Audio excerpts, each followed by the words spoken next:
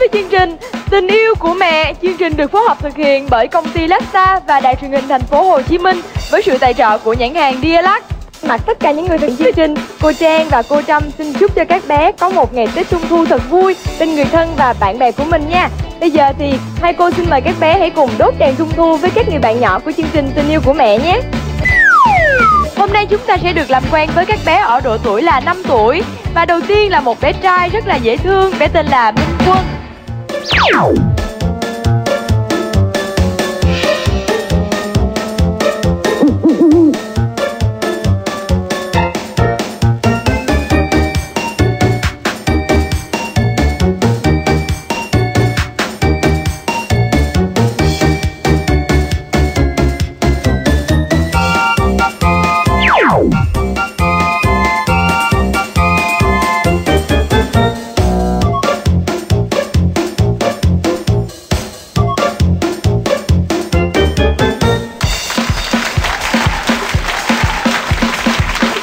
Chào chị Cô chào bé Minh Quân Cô ừ.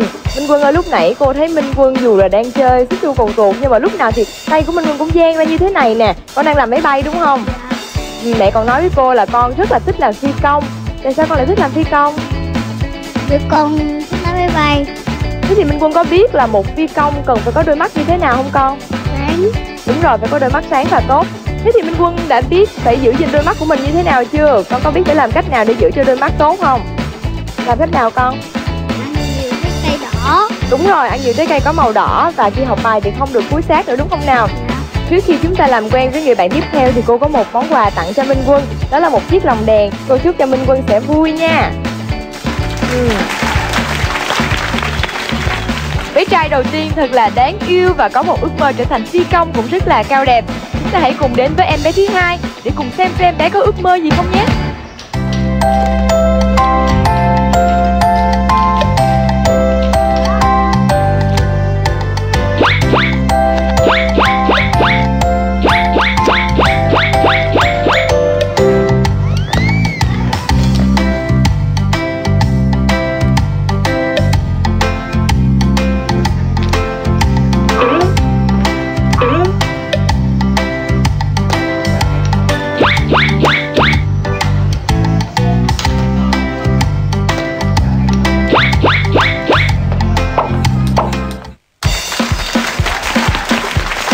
Chào chị Cô chào bé Vân Anh Con chào cô Ừ, Vân Anh ơi lúc nãy cô thấy Vân Anh ngồi gọt trái cây nè Rất là say sưa và Vân Anh còn nấu bếp nữa phải không? Vân Anh đã biết gọt trái cây ở nhà chưa? Được chưa Ừ, coi như trên bán đồ hàng thôi đúng không?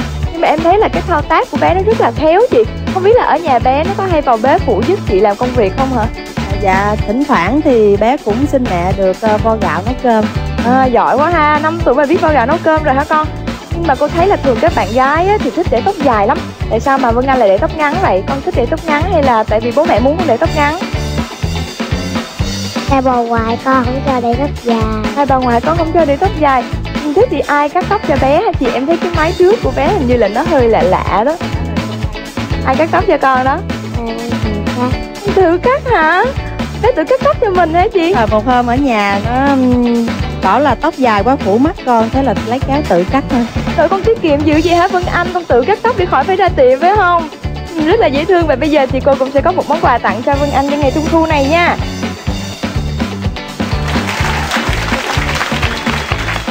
Bé gái của chúng ta chẳng những đáng yêu mà còn biết tiết kiệm cho cha mẹ nữa Ở nhà tự cắt tóc khỏi ra tiệm đỡ tốn tiền Chúng ta hãy cùng đến với em bé thứ ba nhé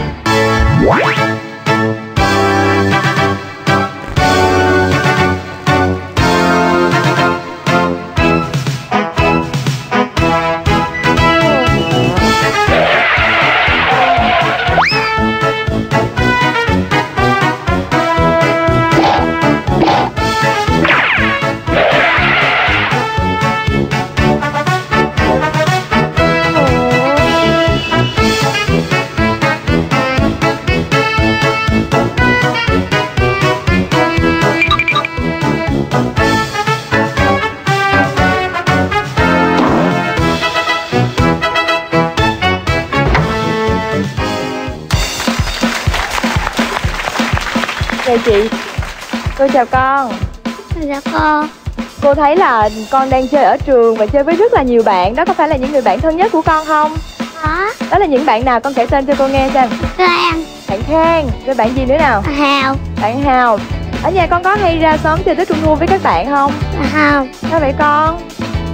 Tại vì là là là chưa quen mấy cái bạn ở ngoài sân. Đúng rồi nhưng mà con ở nhà thì con có chơi đốt đèn cùng với ba mẹ không? Không Dạ không luôn hả? Sao vậy con? Con có biết là ngày Tết Trung Thu là ngày chị Hằng sẽ xuống chơi với con không? có Ừ, như vậy thì hôm nay cô sẽ có một món quà tặng cho con để con cùng chơi đốt đèn với chị Hằng nha.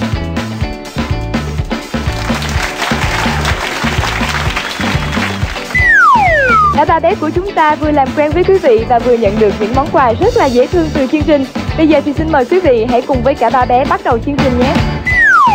Chào mừng quý vị và các bạn đang đến với vòng 1 của chương trình, vòng thi mang tên Mẹ hiểu con yêu. Ngay bây giờ chúng ta sẽ có 3 câu hỏi được đặt ra cho ba vị phụ huynh và vị phụ huynh nào có câu trả lời trùng khớp với ý của bé sẽ ghi được cho bé 5 điểm. Và bây giờ thì Mỹ Trang xin phép bắt đầu với phụ huynh của bé Minh Quân.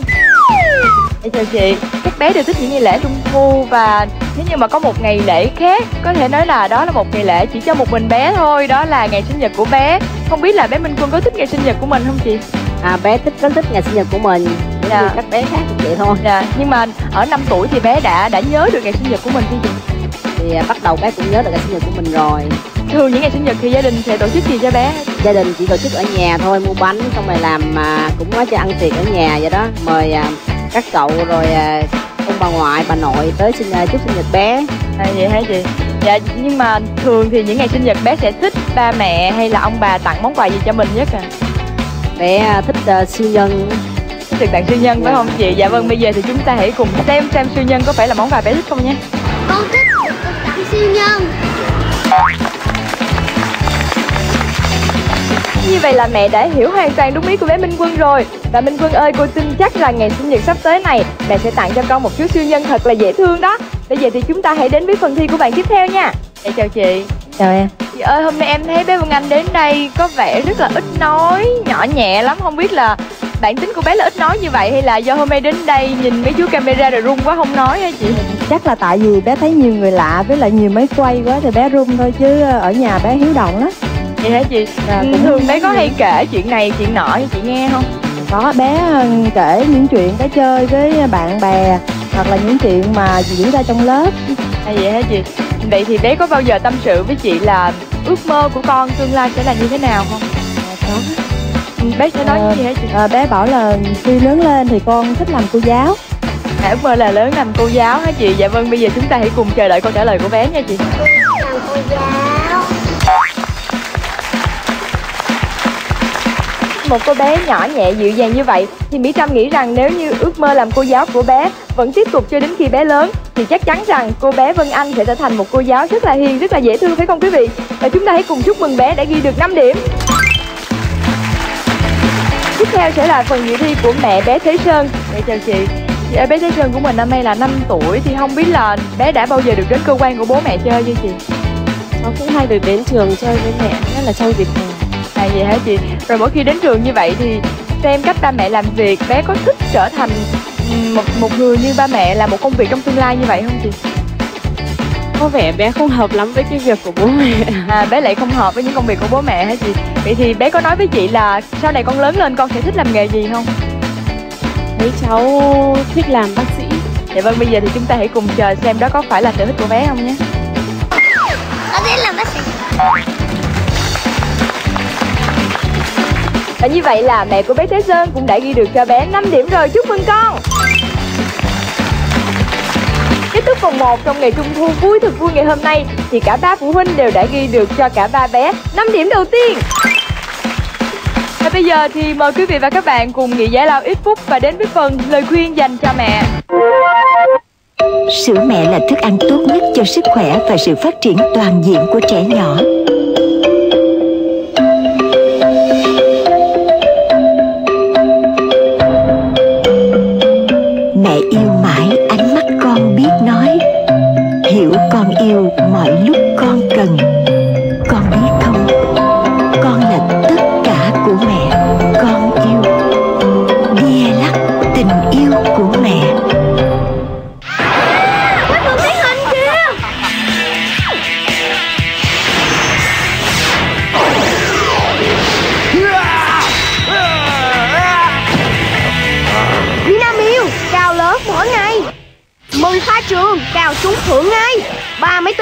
Tính cực 300 xe đạp thể thao.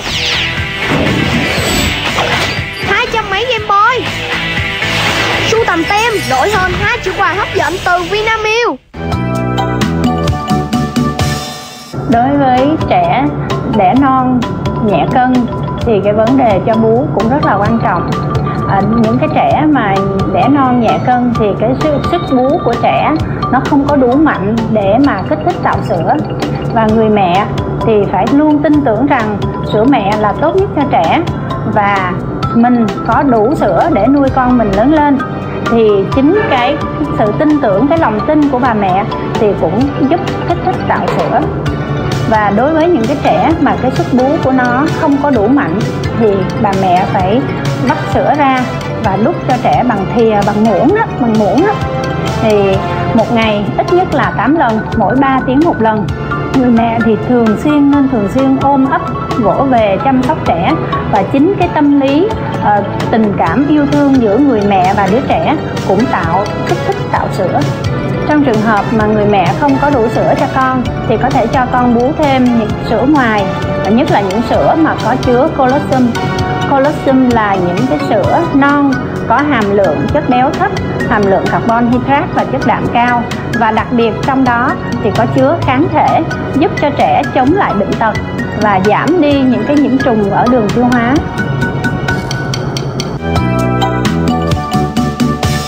Chào mừng quý vị và các bạn đến với vòng 2 của chương trình mang tên Con của mẹ giỏi quá. Như thường lệ thì ở vòng 2 này, các bé sẽ cùng nhau tham gia một trò chơi ngay tại phim trường này. Và hôm nay thì có lẽ là trò chơi của chúng ta sẽ càng vui hơn nữa vì là ngày Trung thu phải không quý vị? Nào chúng ta hãy cùng chờ xem ngày hôm nay các bé sẽ được chơi trò gì nhé. Trò chơi của chúng ta ngày hôm nay đó là trò chơi ném bóng và luật chơi như sau. Khi nghe hiệu lệnh xuất phát, các bé sẽ nhặt lấy một quả banh từ thao banh này vượt qua chiếc bục gỗ và sau đó đến chiếc bục phía kia và ném quả bóng đó cho mẹ nhiệm vụ của mẹ đó là sẽ hứng lấy quả bóng mà con của mình đã ném cho mình sau khi đã ném quả bóng cho mẹ rồi thì các bé sẽ chạy ngược trở về thật nhanh và nhặt lấy một quả bóng thứ hai một lần đi như vậy thì các con chỉ được mang theo một quả bóng thôi và hết thời gian, bé nào mang về được nhiều quả bóng nhất sẽ ghi được 10 điểm bé tiếp theo sẽ ghi được 8 điểm và bé cuối cùng sẽ ghi được 6 điểm bây giờ thì các con đã sẵn sàng chưa nào các chị đã sẵn sàng chưa ạ? Vậy thì bây giờ mời ba vị phụ huynh về vị trí nhận bóng và ba bé về vị trí xuất phát. ba, hai, một, xuất phát. Nhanh nào. Một trái banh thôi nha con. Ném cho mẹ đi con. Đúng, Đúng rồi. rồi. Con không nào. một nữa. Một quả banh khác. Nhanh lên nào. Cẩn thận nha con. Đúng rồi, ném cho mẹ nào. Đúng rồi. Tiếp tục đi Minh Quân.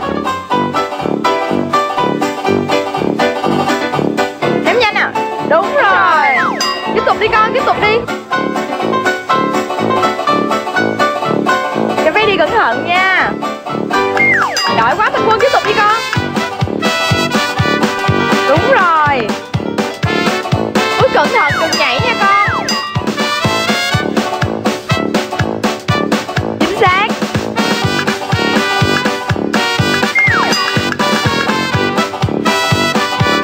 Út cẩn thận có té nha con.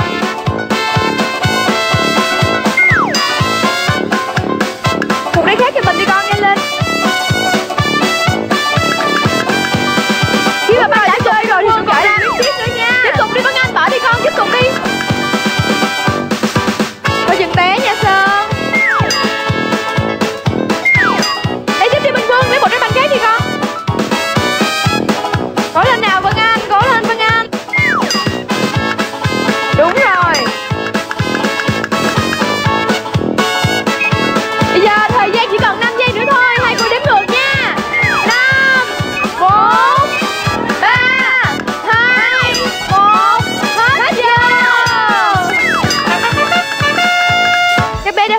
chơi của mình rồi Và bây giờ chúng ta hãy cùng nhìn lại thành quả của các bé nhé Sơn ơi con thấy trò chơi này có khó không?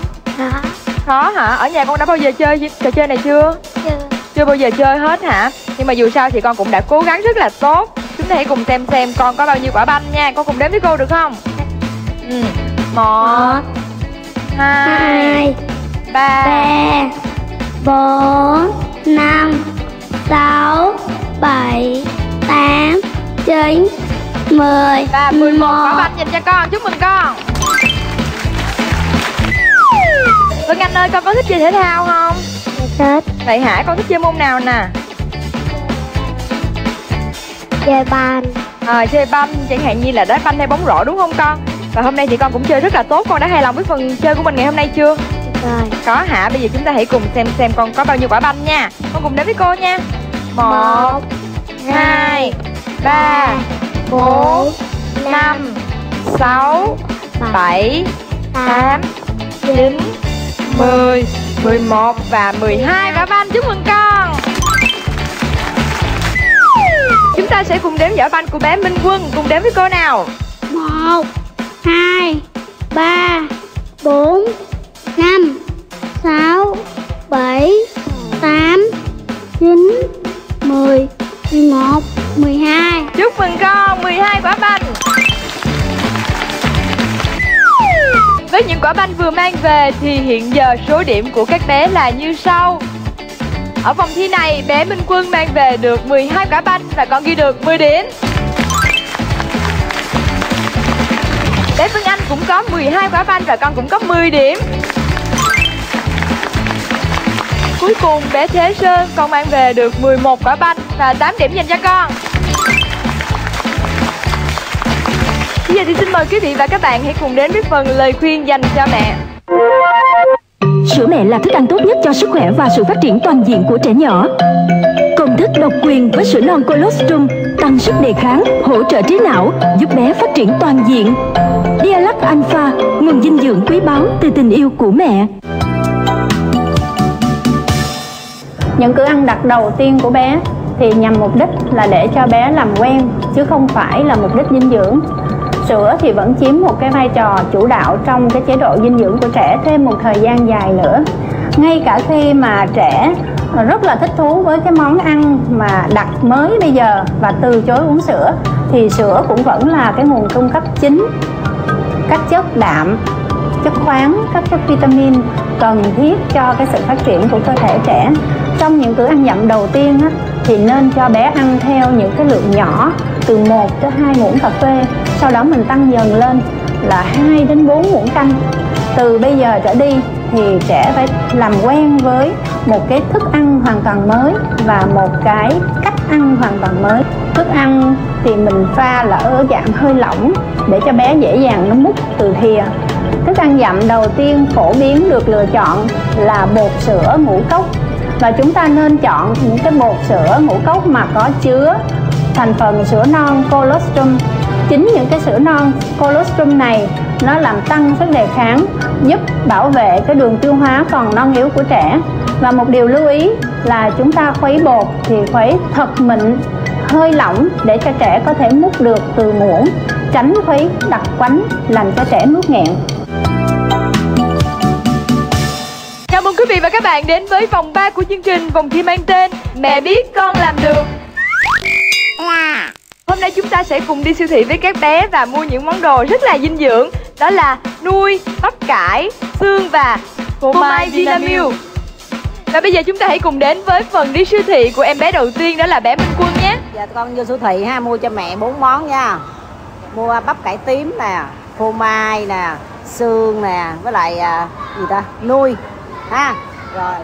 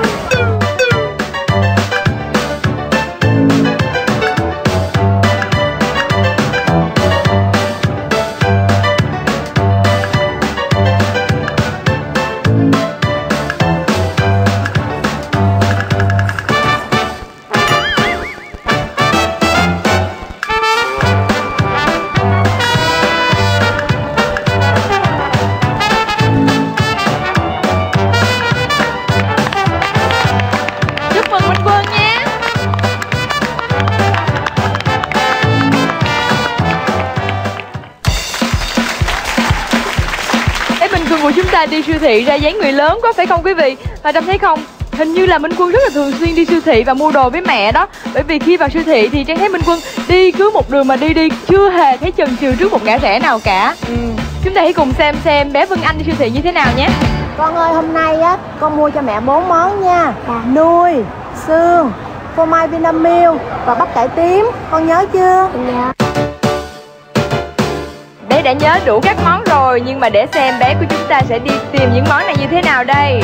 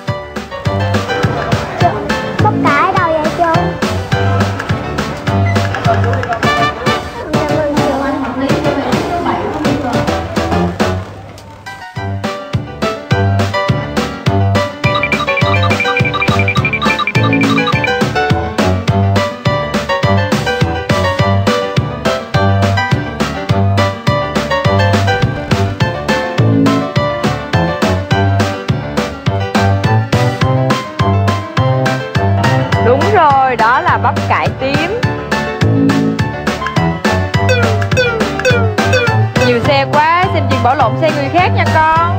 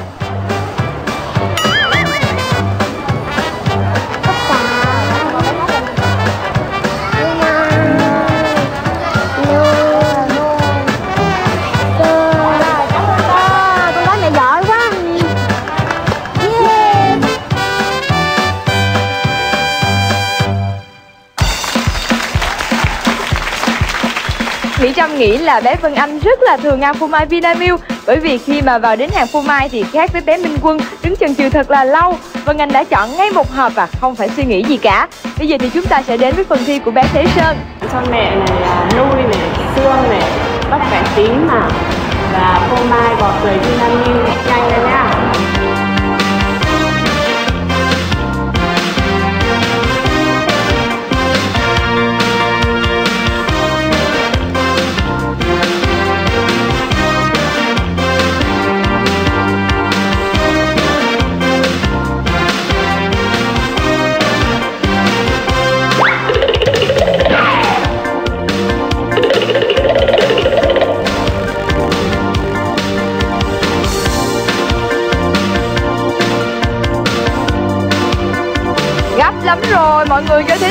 Nhờ với.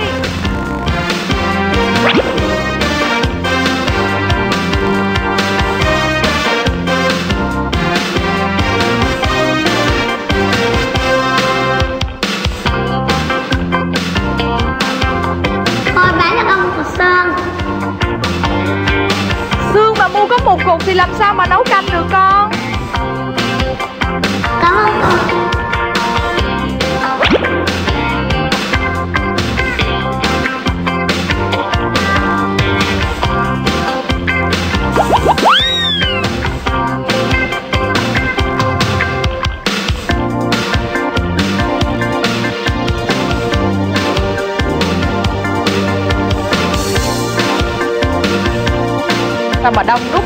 Bye.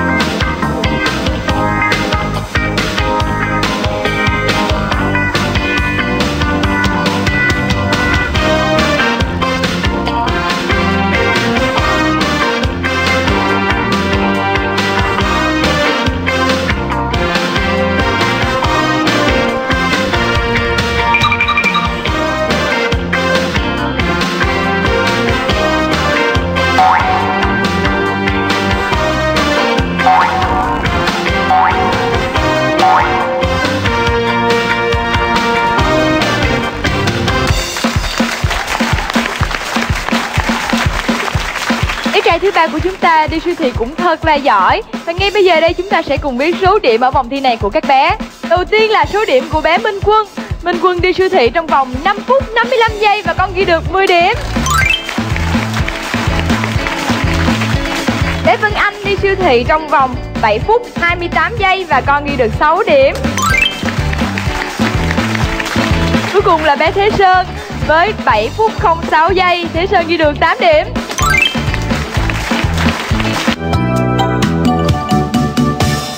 Mừng quý vị và các bạn trở lại với chương trình Tình yêu của mẹ. Và Mỹ Trâm nghĩ rằng quý vị cũng đang rất nóng lòng muốn biết số điểm chung cuộc của các bé, phải không nào? Chúng ta hãy cùng đến với số điểm của bé Minh Quân nhé.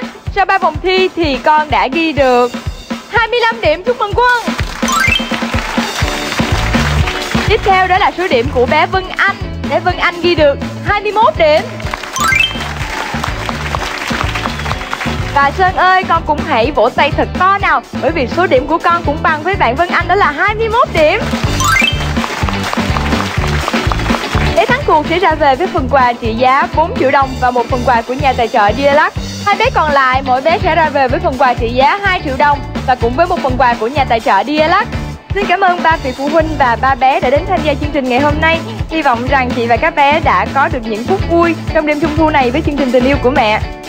Cảm ơn nhãn hàng Dialac đã tài trợ cho chương trình này. Và nếu như quý vị và các bạn cũng muốn đến tham gia chương trình tình yêu của mẹ, thì hãy đăng ký với chúng tôi tại công ty Lasta số 23 đường Phùng Khắc Quang quận Nhất nhé. Xin cảm ơn sự quan tâm theo dõi của quý vị và các bạn. Đến lúc này thì chúng tôi phải nói lời tạm biệt với quý vị và hẹn gặp lại quý vị vào lúc 19 giờ tối chủ nhật hàng tuần trên kênh HTV7.